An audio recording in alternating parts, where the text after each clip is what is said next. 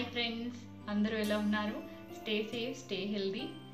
అందరికీ శ్రావణ మాస శుభాకాంక్షలు. సో మీరు ఈ వీడియో కనుక ఫస్ట్ టైం చూస్తున్నట్టయితే please like share comment and subscribe to my channel also పక్కన గంట సింబల్ మీరు ప్రెస్ చేస్తే నేను చేసే వీడియోస్ అన్నీ మీకు అప్డేట్ వస్తాయి. శ్రావణ మాసం అనగానే మనం ప్రతిరోజు అమ్మవారిని అలంకరించి నిత్య దీపారాధన చేస్తూ ఉంటాము సో నేను ఇవాళ చూపించే వీడియో వచ్చేసి మనము పూజా రూమ్ని ఏ విధంగా అలంకరించుకోవచ్చో హాయ్ అండి ఇది మా పూజా రూమ్. సో ఎవ్రీడే పూజ చేస్తాం కాబట్టి సెపరేట్గా ఇలా ఒక రూమ్ అరేంజ్ చేస్తే బాగుండని ఇలా డిజైన్ చేశాము.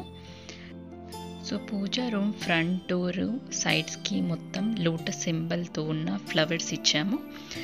జనరల్గా మనము తామర పువ్వు ఇది symbol of prosperity and Lakshmi కదా. సో అందుకే ఈ ప్యానల్ డిజైనింగ్ చేపించాము వుడ్ ప్యానల్లో. సో ఫ్రంట్లో ఈ విధంగా కనిపిస్తుంది డిజైన్.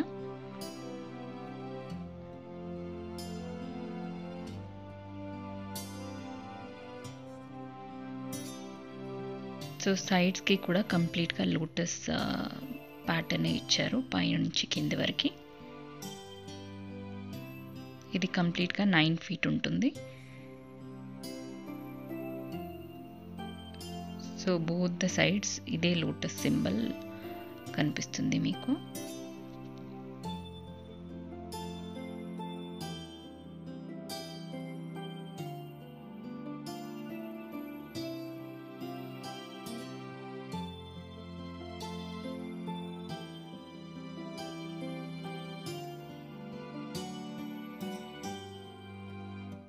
సైడ్కున్న స్పేస్లో చిన్నగా టీపా అరేంజ్ చేసేసి రాధాకృష్ణని డిస్ప్లే చేశాము.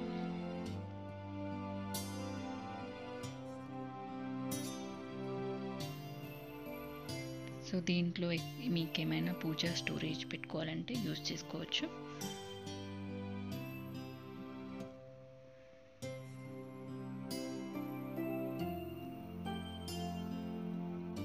సో ఇప్పుడు డోర్ ఓపెన్ చేసి లోపల డిజైన్ ఎలా ఉందో చూద్దాము. సో ఇలా బ్రాస్ హ్యాండిల్స్ ఇచ్చారు.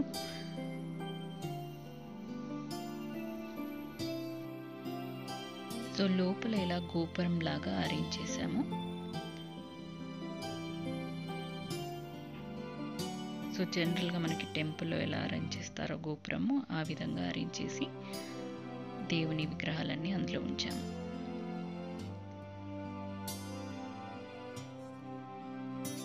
గోపురం వెనకాల అలా వుడ్ ప్యానెల్ ఇచ్చాము బ్యాక్గ్రౌండ్లో సో మీరు ఏవైనా ఫొటోస్ ఫోటో ఫ్రేమ్స్ దేవుని ఉంటే అలా వెనకాల నీట్గా అరేంజ్ చేసుకోవచ్చు.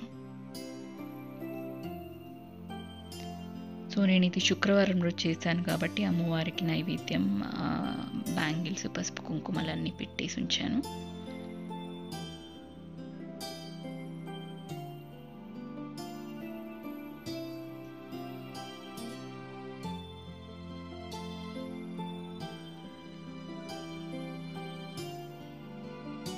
సో ఇక్కడ రెండు స్టోరేజ్ బాక్సెస్ ఇచ్చారు. సో పూజ ఐటమ్స్ ఏమేమి ఉన్నా కానీ మీరు అందులో స్టోర్ చేసి పెట్టుకోవచ్చు. సో ఇప్పుడు లోపల ఉన్న గోపురం కంప్లీట్గా వుడ్ కార్వింగ్ చేసింది. సో మీరు దగ్గర నుంచి చూడొచ్చు డిజైన్ ఎలా ఉందనేది.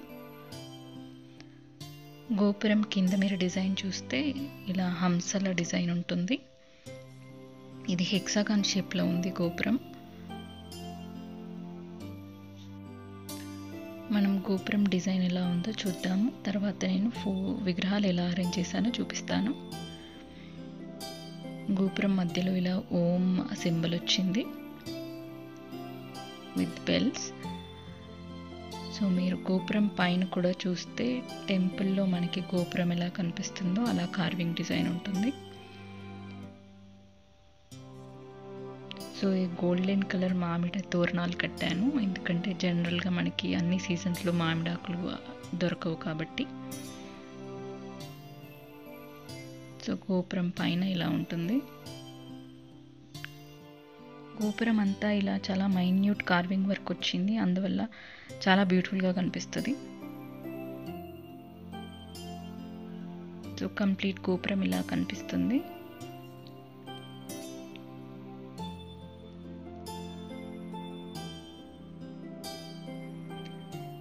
సో వెనకాల నేను కొన్ని ఫొటోస్ పెట్టాను. ఒకటి శ్రీచక్రం అష్టలక్ష్మి అమ్మవారి ఫోటో.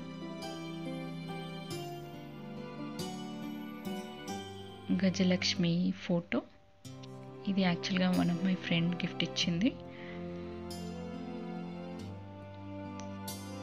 పక్కన ఫోటో రేణుక ఎల్లమ్మ దేవి. సో యాక్చువల్గా మా ఇంటి దేవత అన్నమాట.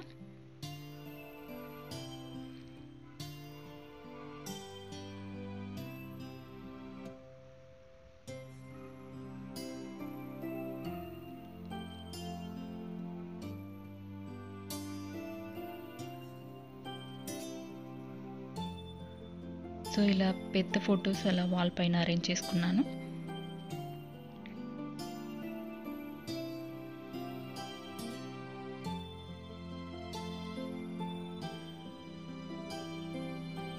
సో కంప్లీట్ లుక్ మీకు ఇలా కనిపిస్తుంది.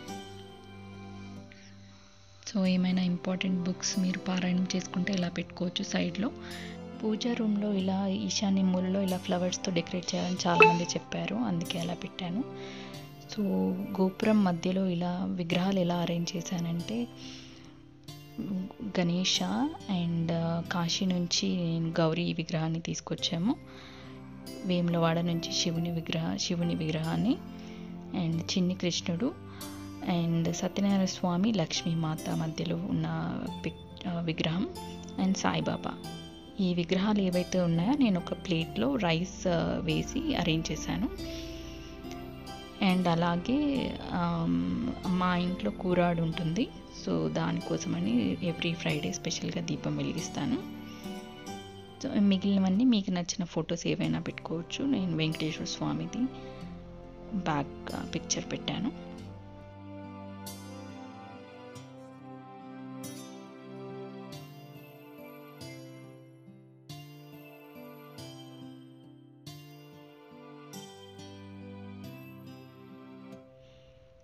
ఇది కంప్లీట్ పూజా రూమ్ పిక్చర్.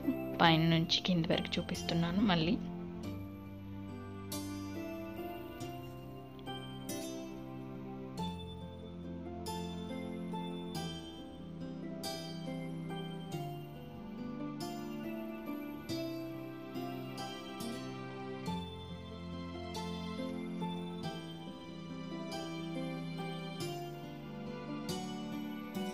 సో సైడ్కి డెకరేషన్ లాగా చిన్నగా రెండు ఏనుగులు అరేంజ్ చేశాను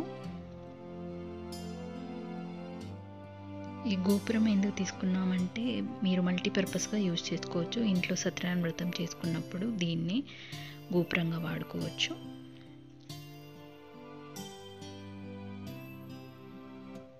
అండ్ పక్కన స్పేస్ కూడా గోపురంకి అటుపక్కన ఇటు పక్కన స్పేస్ ఉంచాము. ఎందుకంటే రేపు పొద్దున మీరు ఏదైనా స్పెషల్ పూజలు చేసినప్పుడు కూడా డెకరేట్ చేసుకోవడానికి కంజెస్టెడ్గా ఉండదు.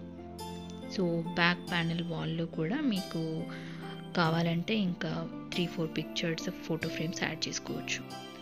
మీకు ఈ వీడియో నచ్చింది అనుకుంటాను for more videos please like share and comment and subscribe to my channel